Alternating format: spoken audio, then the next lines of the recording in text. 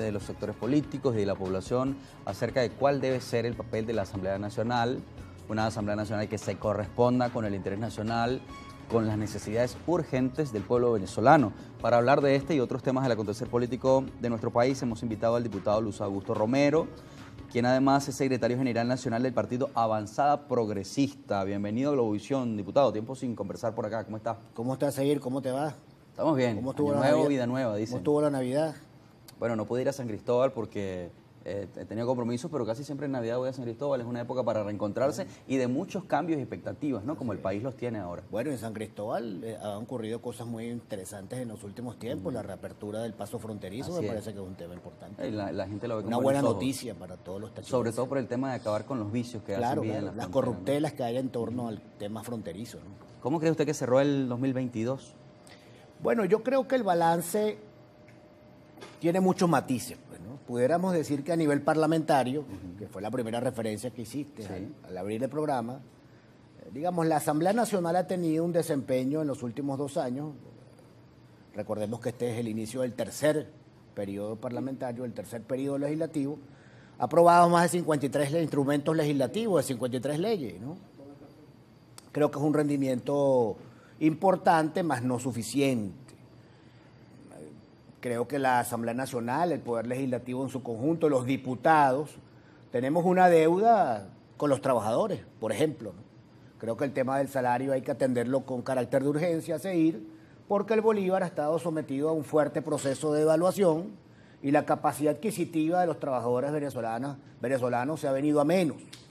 Es necesario también legislar para los problemas de la cotidianidad de la gente, de manera tal que podamos atender eso que llaman la agenda ciudadana.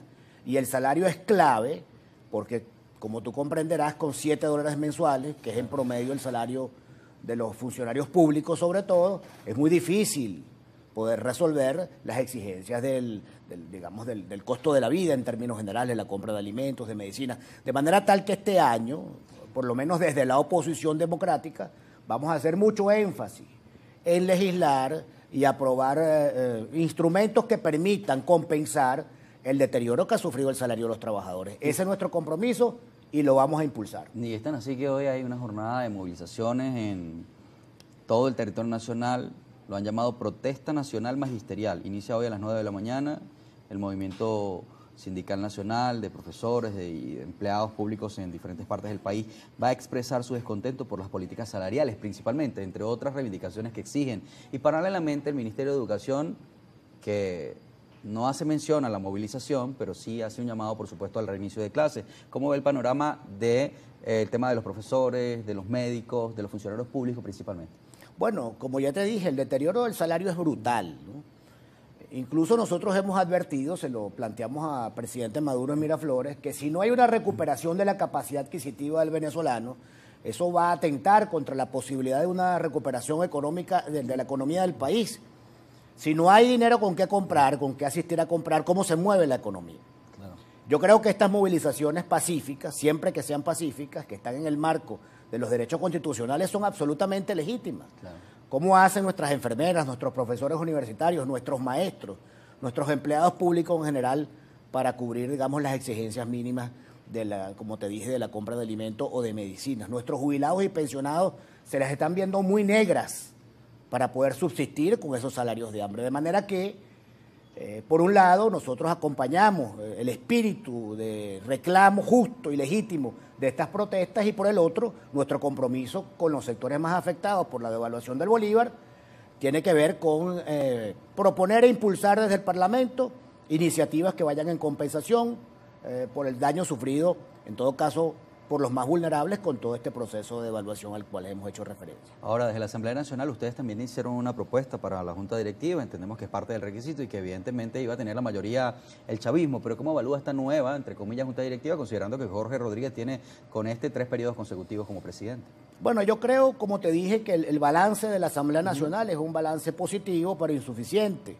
Hay una deuda allí con los sectores más golpeados por la crisis económica, con los trabajadores, y creo que en este año el Ejecutivo, el PSUV, en este caso el partido de gobierno, que tiene una evidente mayoría, una aplastante mayoría, por así decirlo, en la Asamblea Nacional, tiene que asumir el compromiso, porque en definitiva se ha hablado de un presidente obrero, ¿no es así? Estamos hablando de un, de un partido de gobierno que en su discurso político eh, se precia de estar comprometido con los intereses de los más vulnerables. Bueno, nosotros le vamos a recordar eso al gobierno en la sesión. Claro, eh, es que, es que los políticos tenemos que actuar eh, con base en lo que decimos, ¿no? Porque si no se pierde la credibilidad. Y la coherencia. Yo creo que este año, este año es una buena oportunidad para que el gobierno pueda adelantar iniciativas. Tendrán el apoyo de la oposición democrática que permitan amortiguar el impacto negativo que ha tenido en el salario de los venezolanos la devaluación del bolívar. Ahora, en las organizaciones políticas, ¿qué se debe hacer este año considerando la diseminación que tiene la oposición en diferentes aspectos y sobre todo en la carrera presidencial?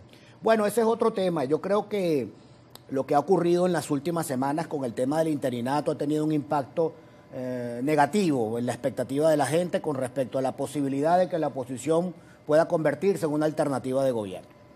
Y esto lo digo de una manera autocrítica, porque no podemos hablar de la oposición en tercera persona, ellos la oposición, no, hablamos de nosotros la oposición.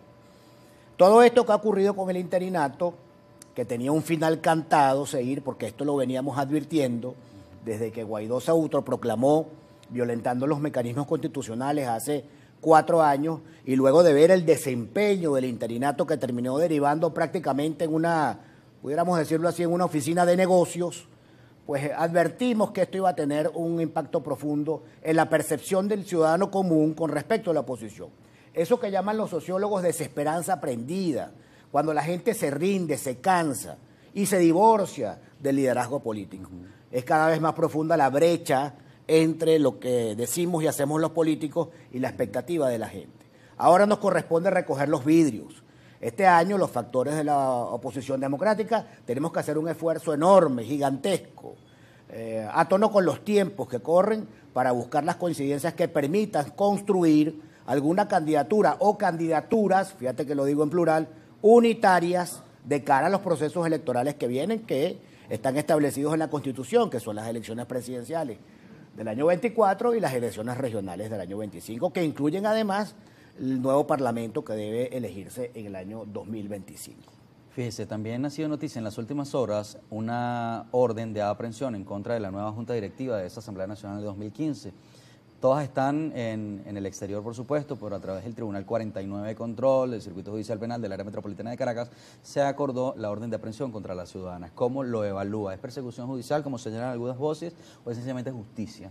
Bueno, yo creo en primer lugar que allí estas señoras que están en el extranjero, que formaron parte de la asamblea del año 2015, pero que evidentemente, ya eso ha sido demostrado por la vida de los hechos, a pesar de que algunos insisten en ese discurso demagógico de la asamblea paralela, de la asamblea legítima, esos diputados que ya no son diputados, que fueron diputados, exdiputados, mejor dicho, cometieron en el, ejercicio del interinato algunos delitos tales como usurpación de funciones y malversación de fondos públicos.